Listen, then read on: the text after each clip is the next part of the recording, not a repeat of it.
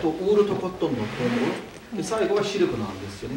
今棟梁の出して見せるものは100%ウールですお客様。縦糸でも横糸でも全部ウールです。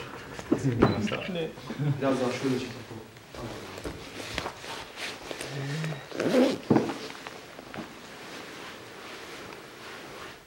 Sen de çek bunu. Aynısını getiren. いいですよね。こうやって見たら Çıkarttıracağım ben seni.